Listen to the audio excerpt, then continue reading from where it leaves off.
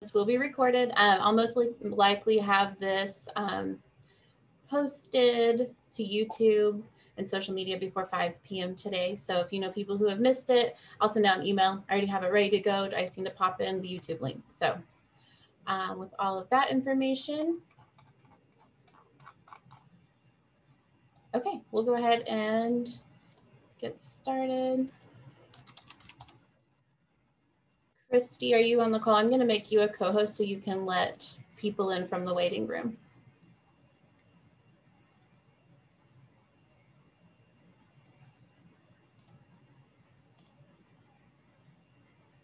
Okay, welcome everybody. Thank you guys for being here today. I do apologize for the glitch in the system that where some of you didn't get your information on Monday when I sent it out. We have since fixed that. If you ever feel like you haven't heard from me in a few days and you think you might need to, don't hesitate to reach out. That way we can get to the bottom of why you're not getting information and things like that. So um, for our state leadership conference announcement, Oklahoma BPA State Leadership Conference will be hosted virtually this year rising COVID 19 cases in our state, the increasing travel restrictions being placed on our chapters, and the need to plan and host a safe, socially distant, quality, and financially sound conference were the deciding factors when we made this difficult but necessary decision. I do not have all the answers right now, but I guarantee to you all that all competitions in each division will be offered and that we will attempt to virtually recreate as many conference experiences and opportunities as we can. This includes mid-level competition day, state officer candidate campaigns, and SLC in its entirety. I know this is disappointing. I am also disappointed. When I told the state officers of this decision last week, we spent some time expressing our feelings. We vented, we appreciated what we can still do, and we celebrated what we were able to do with this new format and the unique possibilities it brings. My only request at this time is that you all grant me the month of December to come up with a game plan for how things will be packaged, delivered, and conducted. We are hoping to maintain the same deadlines that we have already published, and while the way your students compete might be different, the topics and content will not. They can still prepare, they can still practice. Registration will not increase, and if possible, we will lower it. We are finalizing demos and contracts with several different companies to create the best virtual SLC experience possible, and I will release more information as I have it. We recognize that some school districts have restrictions on various platforms and will be working with you to make this conference accessible to all participants. Your Oklahoma State Executive Council has chosen a theme for this year's SLC that will be released via social media in the next coming weeks. That is, is definitely something to look forward to. I will now open the floor for questions. You can type them in the chat or you can ask them out loud.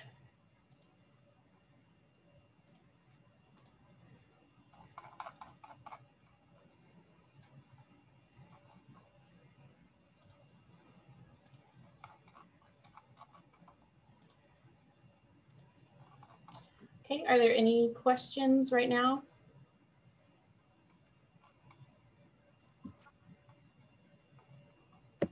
I have a question, Paxton, just real quick. Yes. Um, they had sent some of the um, last year's evaluations from competitions, but I didn't get all of mine, especially like the guy that qualified. Are they still coming, like filtering through them?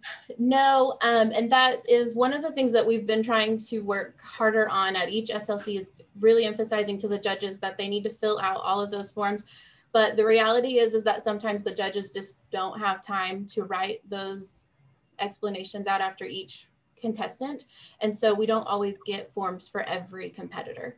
So what you have received is what we have from State Leadership Conference. We've cleaned out everything that kind of got thrown in our storage room right before we started teleworking after SLC. So we have scoured for all of them. That's all we have. Um, if you have, if you send me an email and you had like online competitors that did a pre-submit, I can look and see if the judges left scores for those. That might help out a little bit. Um, and this year, I think that with it being virtual and the judges judging kind of on a more um, varied time schedule, they may have more time to input comments for you. So we may see actually more comments this year because they're not having to write them out with a pencil and paper. Thank you. Are there any other questions?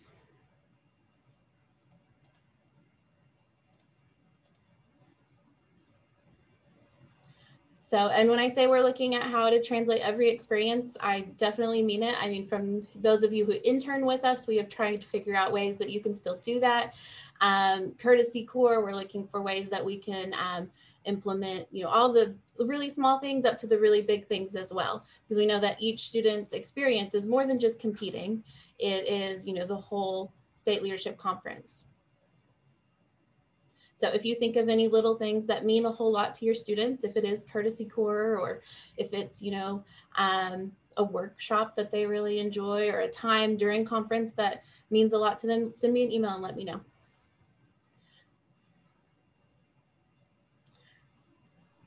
Paxton? Yes. Yeah, that's Terry. Okay, Um, I'm just double checking. Um, so with the officer um going and doing in December and stuff, and I know you were saying campaign, are they still gonna have to have campaign supplies, campaign, you know, how they usually do give giveaways and stuff? I mean, will they still be doing that? I mean, they, No, um, I mean, you might, um, that's when we get to screening those officer candidates who are there, I'll explain to them kind of how we're going to change up the campaign process. Mainly, they're going to be building a, um, basically like a web page, and they'll be able to have a Zoom feed where they, or a Google Meets or something like that, where they can go in and with their advisor. That's the only thing that will be majorly different is that we'll have to have an adult in there with them. Okay, um, so that we can still conduct a campaign um, a campaign room so that students can go and visit each candidate and talk to them. So i'm really excited about that. I think we have that kind of figured out in the best way possible.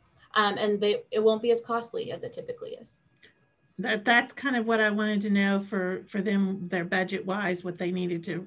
we um, may allow them um, a little bit of a budget. It definitely won't be the normal $300 um, if they want to produce you know things for their background or if they need to help you know do something like that. But that's one of those things i'm going to have to figure out what other states are doing as well and see if there's something they might need to pay for before we just say don't spend any money. Okay, Paxton, there's a question in the chat.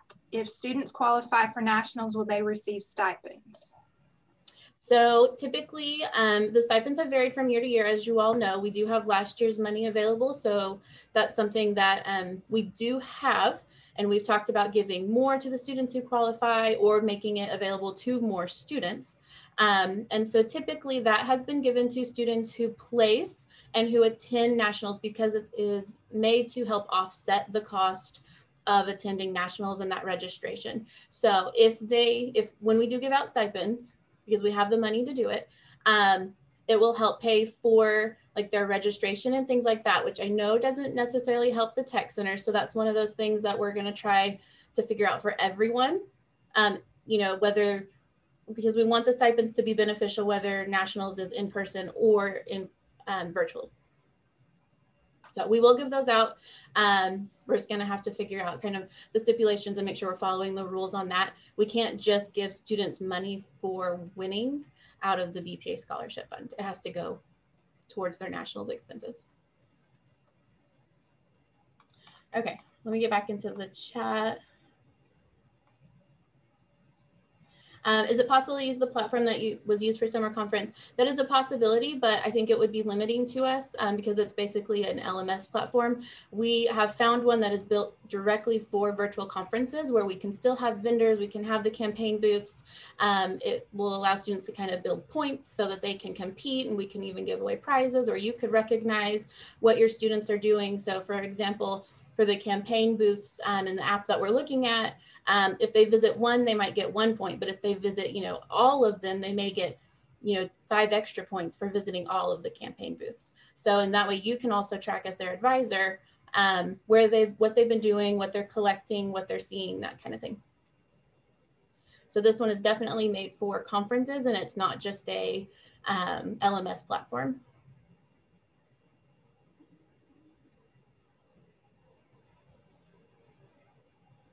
So, and one of the, you know, um, especially we have to make sure that our conference is, um, you know, ready to use for students who are in your classroom, who students who may be in your classroom one day, but at home the next, and then students who are just at home completely. So that when we look at how students are submitting things, how they need to be uploaded, how they're competing, all of that's going into consideration because we know that some students aren't seeing you at all other than via Zoom or something like that. Some students are still in their classrooms and then some are, you know, on an AB schedule or something similar. Are you going to need graders for competitions this year? Yes, so we're still going to need lots of help. So don't worry about that. Your assignments might look a little bit different. For example, um, with the officer campaigns, that's an example. Anytime that a student is in a Zoom room visiting other students, we'll have to have an adult in a room like that. So there will be situations like that where we may need more of like a proctor or a chaperone type person instead of your normal job. So don't worry, you'll still get to help out. Um, if you're attending SLC, we'll have some shifts for you to do and some different jobs. Great question. We'll still need graders, we'll still need judges. So if you have volunteers, send them my way.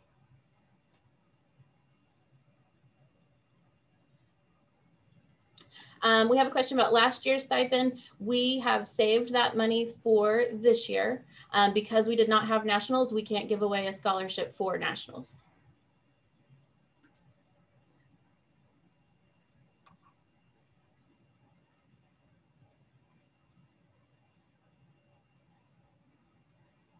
So I'm sorry. I know that it's not fair for, I know it's a hard thing. It's not fair for those students. Um, but it's just kind of the rules that we have to follow with our money. We can't just write a check to a student for getting a place. It was for attending nationals. And since there were not expenses associated with nationals last year, we cannot give out stipends for last year's winners. Um, and as far as, is there anything you can do for your first place winners? This has been something that we have talked about in every state advisor meeting I've been to since May. Um, everyone has asked you, can, if we have it in person, can they come? Is there something they can do? Can we do something special for them? Um, we don't have a great solution national wise if someone from Oklahoma wants to help head up an idea for something we could do for our winners at like a state level, I'm all for it. I'm happy to recognize them. I don't necessarily know what that means. Um, I can't really allow them into the competition with their projects just because it's a different year, different set of projects, all of that. But I'm happy to do some sort of recognition recognition thing for them, or if we want to figure out a way to recognize them, I'm all I'm all for that. Um, when will they announce if NLC is still on? I have not been given a date, um, but I do know, you know, they talk about it at most board meetings. And as soon as I know um, and can let you all know, I will. And I know that they will be um, probably sending it out via the source. You might also get an email from Dr. Ross herself. So just be watching your emails for that. Um, and as, when I'm updated, I'll update you.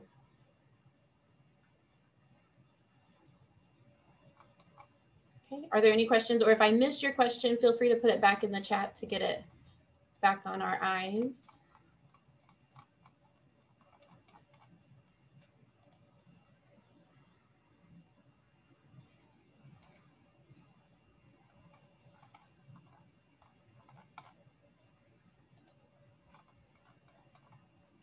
Okay, well, um, I'm going to stay on until the last person logs out in case anyone has a question they want to ask me.